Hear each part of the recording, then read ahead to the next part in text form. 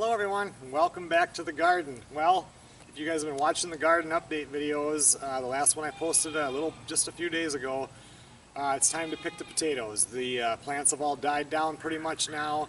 I was waiting for a couple dry days. We've had a couple dry days now. You want to pick them when it's drier. It's just easier to pull them up, uh, easier on the skin. Everything is just, you know, it's just drier. So we're going to pick these potatoes and see how we did this year. I don't know. I've reached down and stole maybe two. That looked good, but we're going to see what happens. All right, so as you can see, these have grown all year. The plants have completely died off now. There's nothing more growing underneath. So if we had a even shorter growing season than what we have here in Minnesota, uh, and it was getting close to frost, I could leave them in right up until frost, but we still have a lot of warm days here and stuff, and we don't want our potatoes to start to rot underground.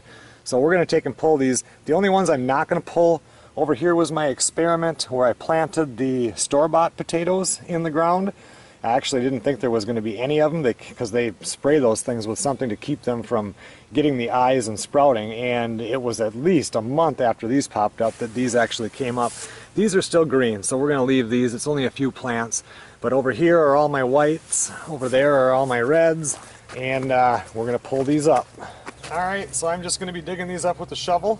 I wish I had a potato fork, that would be nice, but I only think about getting the potato fork once a year, and that's the day that I dig potatoes, and then I don't have to think about it till the next year, so it's always with the shovel.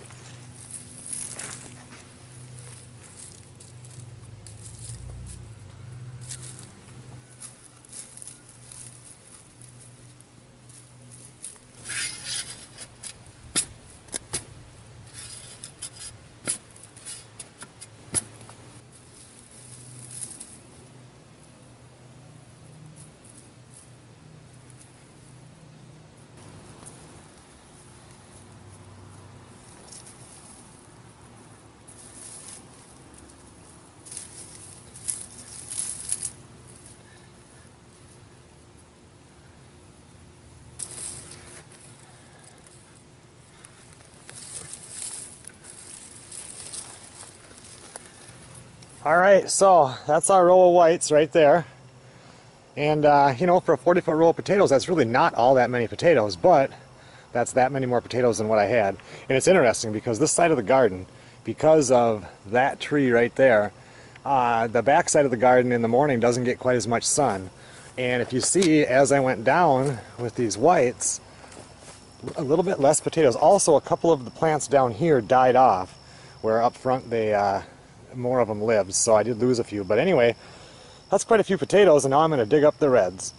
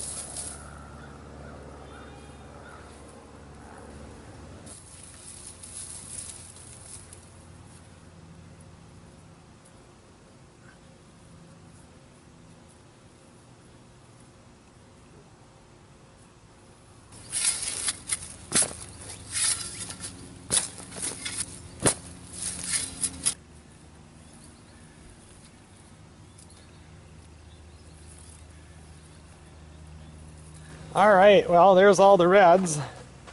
Not too bad. Got quite a few potatoes, so Now the next thing that I'll do is I will lay them out on the tar for just a couple hours here, and then we only got a few hours till dark. Let them dry a little bit, then I'm going to pick them up, bring them inside to the workshop, lay them on the concrete floor down there where it's just going to be cool, it'll be dry, and it'll be dark in there, and then they can cure for a while before they can be stored. Alright, so now you've seen all the whites and the reds, and now a couple things that I learned here. I had a row of reds right here, Pontiac reds, and I had Kennebec whites here. Side by side rows, you know, 30 inches, I think they were 30 inches apart. Anyway, the reds were way more susceptible to insect damage. I found a couple of the, I call them cutworms, or the big old, yeah, I don't know what they are, just the big old, um, uh, like a caterpillar type, but anyway, they ate them. There's a few insects holes in some of these where the whites were pretty clean. So that's kind of interesting. And one good thing now is, now that the potatoes are out of here, I'm going to come through and I'm going to till it really deep. And I've had the rabbits all year and the goats. And I'm going to take, and when I clean out the barn, the manure goes in there as well as the straw and everything like that. I'm going to lay it thick in here and till that down real deep. You know, try to get a good 10 inch deep. And that'll really aerate the soil and it'll sit in there and it'll have a couple of months. We really won't be frozen here for, I don't know, three months or so. So it'll, you know, but that last month, nothing's going to happen because it's cold. But at least the first two months here now, that stuff can sit in there and rot. Uh, the weeds that are still alive in the straw can try to sprout up, and I can till that under. So next year when I come in here, if I do potatoes, and I think I'm going to do them in the same area simply because I'm going to change the soil so much here. It'll really be a fertile soil, it'll be a looser soil so more potatoes can grow.